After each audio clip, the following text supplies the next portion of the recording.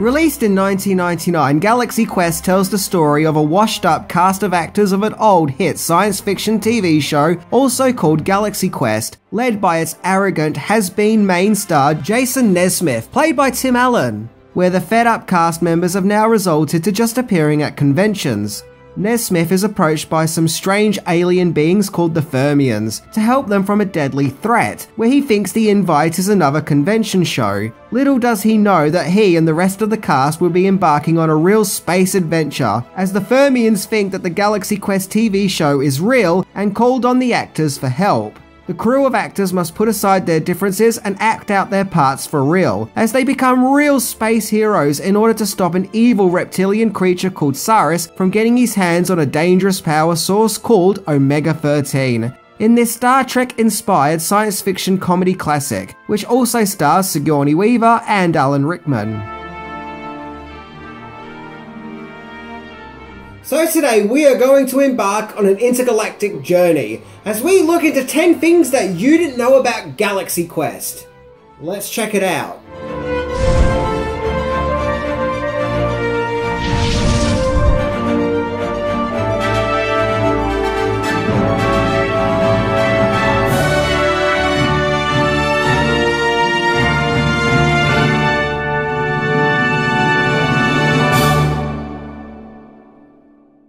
Number 10, Galaxy Quest grew from an interest from being typecast. Galaxy Quest came from the mind of writer David Howard when he visited an IMAX cinema and was greeted with a trailer for a space movie which had a voiceover narration from Leonard Nimoy, aka Spock from Star Trek, this got Howard thinking about the rest of the cast and crew from the original Star Trek series, and how they have pretty much been pigeonholed as their characters, unable to escape their roles they played in the famous science fiction series. Howard then had a true stroke of creative genius, where he wondered what if the cast of Star Trek actually got caught up in a real space adventure with real aliens? Kind of like an intergalactic version of Three Amigos, where he then wrote the script and sold it to DreamWorks. Howard went on to say that, in many ways, the script wrote itself. Number 9. DreamWorks made drastic changes to the script. When DreamWorks brought the script to Galaxy Quest, it was a fairly new production company, which was co founded by Steven Spielberg, and it had already released several movies, such as Deep Impact, Small Soldiers, Saving Private Ryan, and Antz, among others. Producer Mark Johnson saw great potential in Galaxy Quest but he still felt that many changes had to be made. For example, the movie's original title was Captain Starshine, which, although is an interesting name, it still lacks that Star Trek inspired space adventure feel that Galaxy Quest has. Also, in the original script, the Alexander Dane character, who was played brilliantly by Alan Rickman, was going to turn out to be the movie's main villain, which, although would have been a shocking twist, probably was a bad move, as I can't really see it making any sense whatsoever. But hey, I'm probably just saying that because I love the Alexander slash Dr. Lazarus character, and I just struggle to see the concept of him being the movie's baddie. Number 8 Original Director DreamWorks hired Harold Ramis to direct Galaxy Quest. Ramis had an impressive resume in the movie industry, not just for his starring roles but also co writing Animal House and Ghostbusters, as well as directing National Lampoon's Vacation and Groundhog Day. So, where did it go wrong for Ramis? Well, for the movie's main lead, Jason Nesmith, Ramis wanted an action star who wasn't known for comedy, and his number one choice for the role was Alec Baldwin, but he turned the part down. The studio then approached Steve Martin and Kevin Kline, but they also turned the part down. Tim Allen, who during the 90s had great success with Home Improvement and Toy Story, was cast in the role. Ramis, however, wasn't fully sold on the idea of Tim Allen in the part, so yeah, he left the project, and he went on to direct Bedazzled instead. Directing duties of Galaxy Quest were then given to Dean Parisot, who had previously directed the comedy Home Fries, and interestingly has recently directed the upcoming Bill and Ted Face the Music. Ramis would supposedly go on to say that after watching Galaxy Quest, he felt that Tim Allen did a great job in the movie after all. Number 7. Tim Allen left another science fiction movie to star in Galaxy Quest. In 1998, Tim Allen was cast to play the lead role of Andrew the Android in the comedy science fiction drama Bicentennial Man. However, during the early production of that movie, he was also offered the role as Nesmith in Galaxy Quest. Allen knew that he could not star in both movies and could only choose one, so he chose Galaxy Quest, where Robin Williams replaced him for the Andrew part in Bicentennial Man. And given that Galaxy Quest has gone on to become a beloved classic among science fiction fans, and that Bicentennial Man has now somewhat become forgotten, he probably made the best choice. Allen said that when he first got the script, it was more of Harold Ramis's vision of the movie, and said that it felt more like Spaceballs, which makes me think that it was going to be more of a slapstick science fiction spoof, unlike the final film, which is more grounded in reality, be that a reality that has very funny moments, rather than being a wink and nudge at the audience that the whole thing is one big joke. Sigourney Weaver loved the script for Galaxy Quest, and when she first read it, she likened it to The Wizard of Oz, in that at the start of the movie the characters seem incomplete, but thanks to their adventure they become more fulfilled and become the heroes that they always envisioned themselves to be. You know, I've never looked at it like that before, but yeah, that totally makes sense. Galaxy Quest is like The Wizard of Oz, the Star Trek version. Number 6. No swearing in this space adventure. It was always intended for Galaxy Quest to be given a widespread PG rating, meaning a film that families with young children can go and see. And DreamWorks really wanted a PG movie that kids could go and see, as it was going to be competing against the Rugrats movie in the box office. However, an original cut of the movie was, surprisingly enough, given an R rating, on the account of the amount of swear words used, now, PG and even PG 13 rated movies can often have the odd F word snuck in there, but to be met with an R rating means that Galaxy Quest must have been a movie with a lot of swear words. I personally don't mind the odd swear word here and there, as it can be used to great effect, especially in this case where we have normal actors in extraordinary circumstances, aka going on dangerous space adventures and battling alien monsters. So naturally the odd F word here and there could actually be quite funny. However, it was decided to play it safe and remove all the cuss words, so Galaxy Quest could get its PG certificate. Something that is often brought up with fans is a scene where Sigourney Weaver's Gwen character says, screw that. Well, screw that! Many have noticed that if you pay attention to her mouth, she's actually saying F that. So what do you guys think? Would Galaxy Quest have been funnier if it had a few F-bombs thrown in there? Or is it better as a PG movie with less Fs and more screws? Number 5. One of the best Star Trek movies despite not being a Star Trek movie. No doubt about it, Galaxy Quest takes a heavy influence from Star Trek, as the actors and the fictional Galaxy Quest show in the movie is clearly a comical take on the hit science fiction series. However, Galaxy Quest has gone on to become a movie embraced by Star Trek fans, Supposedly, some viewers often mistake it for being an actual Star Trek movie. Even several cast and crew members whom have worked on Star Trek have gone on to praise Galaxy Quest.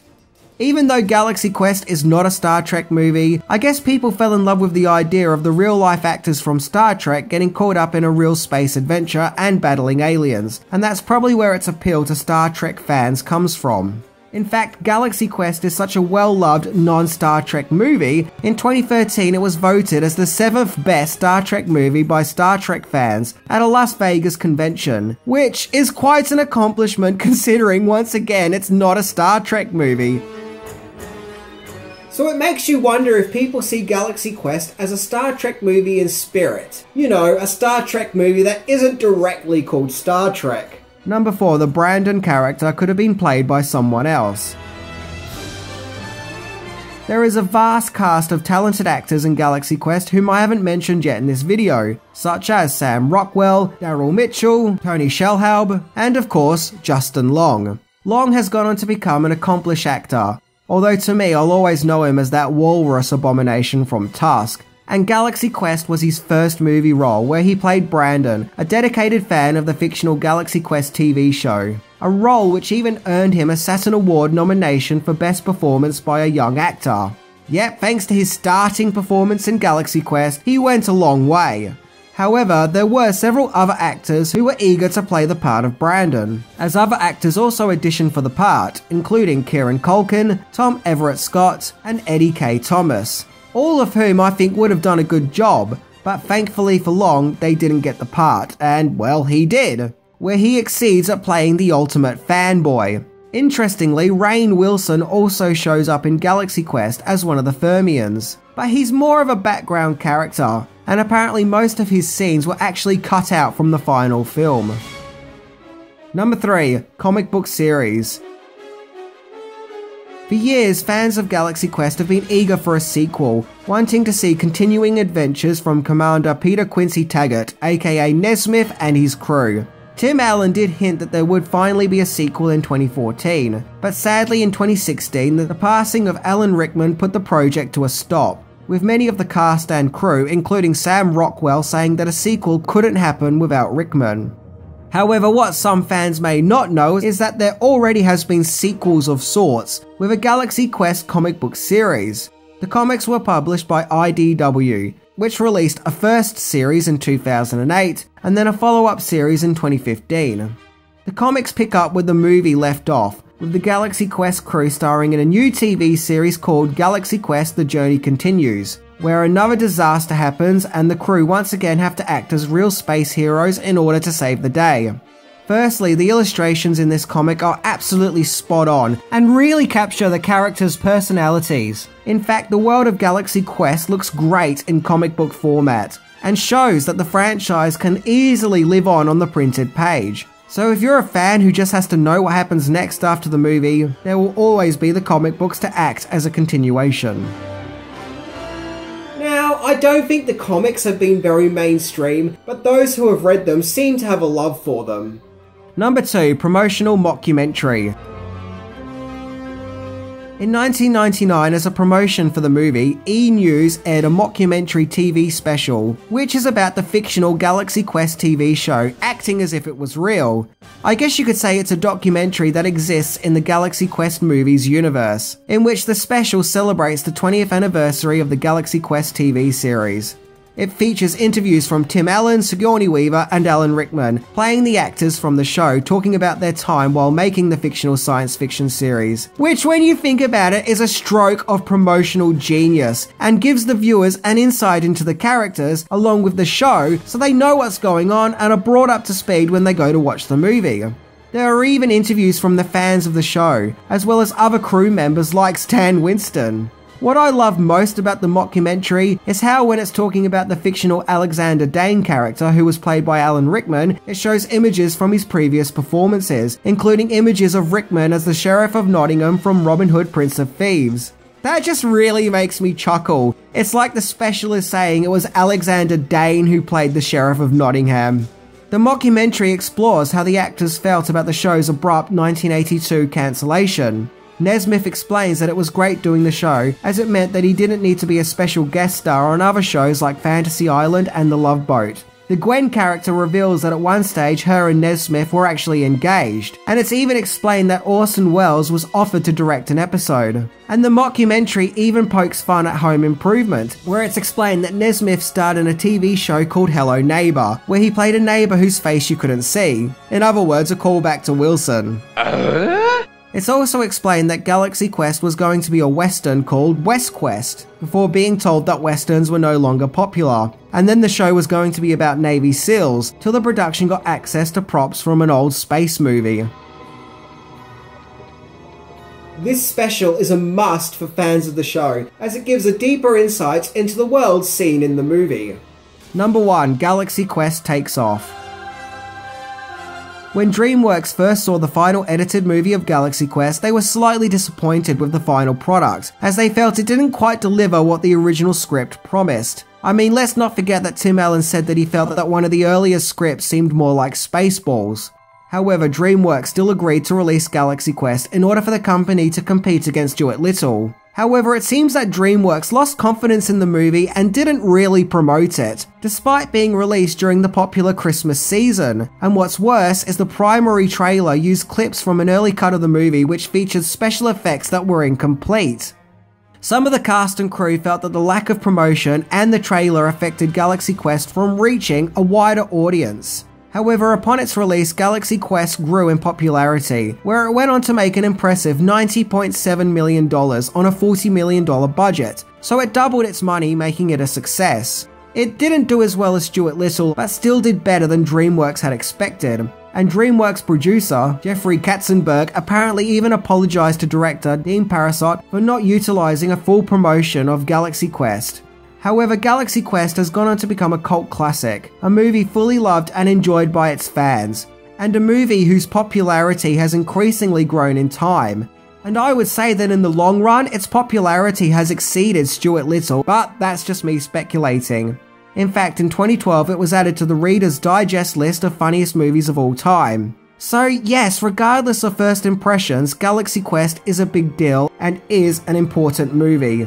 It has plenty of laughs and excitement and shows us that even if you're washed up and you feel like your best is behind you, you'll never know what's around the corner. And it's never too late to strive to greatness, as even has been actors can still become brave heroes. Galaxy Quest is just lots of fun, a pure escapism riot.